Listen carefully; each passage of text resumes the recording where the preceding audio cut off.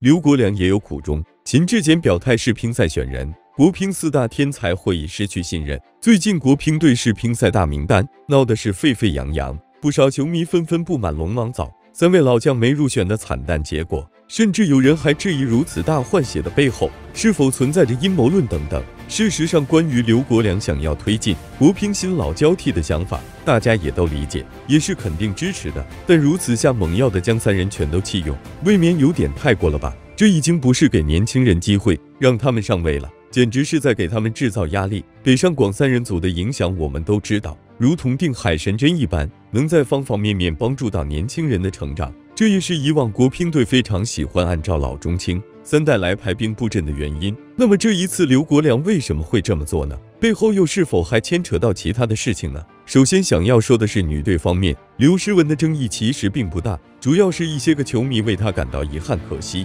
东京奥运会的推迟使得刘诗雯提前进行了手术，却也因此失去了一路登顶的王者气势，被孙颖莎抢了单打名额而无缘大满贯，还因为混双丢金的失利成为了所谓的罪人。眼看随着年龄的增长，马上要面临退役，然而现在想要一个圆满落幕都难，为什么就不能给他和许昕一个混双的名额呢？又不是他俩的实力不够。事实上，就混双而言，新闻组合仍旧是国内第一，世界顶尖。其次是男队方面，这是大家争吵最多的地方。许昕、马龙居然双双退出了，着实是出乎了绝大多数人的意料。因为男队啥情况，当大家都不知道吗？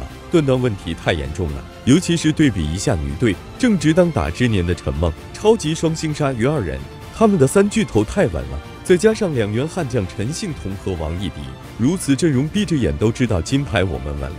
伊藤美诚支流的只能一边玩去，甚至大概率打到最后还是女队内部的竞争。可男队只有樊振东一枝独秀，剩下的王楚钦、梁靖昆、林高远以及周启豪四人，你不能说他们不行。只是他们真的能够承担这个重任吗？恐怕没有人心里有底气吧。而由此这一点也可以看出，国乒此次未必没有强行做新老交替的想法。主要原因或许就在于以上这四人，甚至刘国梁等一众教练组已经快要对他们失去信心了，不能指望着他们去抢班夺权，真正意义上的打出来，所以只好无奈出手了。关于这一点，秦志戬也在接受采访时表态了。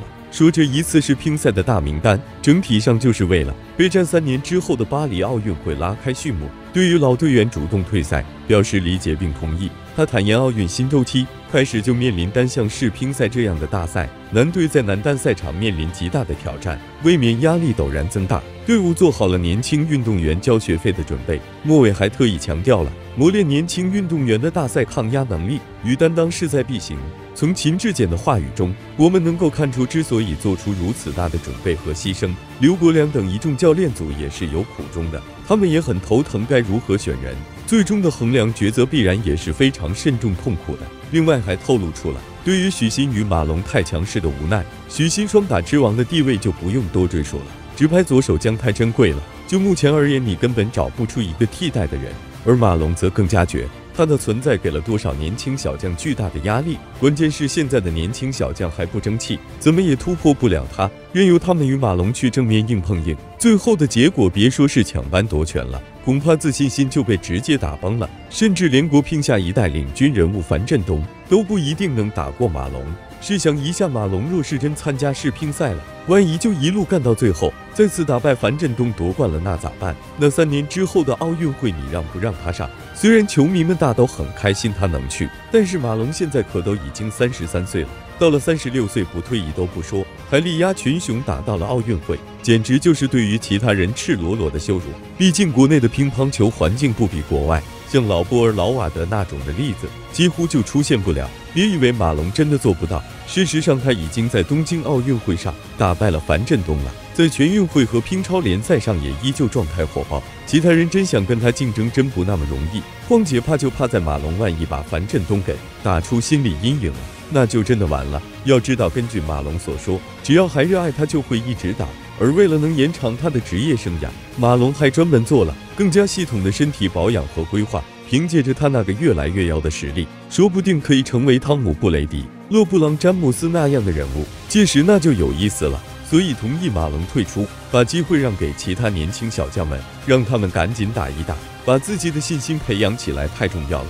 这可能也是刘国梁等一众教练组大刀阔斧的原因之一。之前龙傲莽三剑客能够打掉二王一马上位的经历，放在现如今的年轻小将身上，可能并不适用。否则也不用这样为他们操心，保驾护航了。但若是这次他们再把握不住这个珍贵的机会，等到下一次马龙出山，那可能他们脱颖而出的希望就更小了。今天的问题是关于这次世乒赛的大名单，大家还有什么想说的吗？大家觉得刚刚获得了全国青年锦标赛冠亚军的像彭林、诗栋二人，会否弯道超车加入到巴黎周期的竞争中吗？欢迎多多留言评论。喜欢本视频的话，记得关注点赞哟。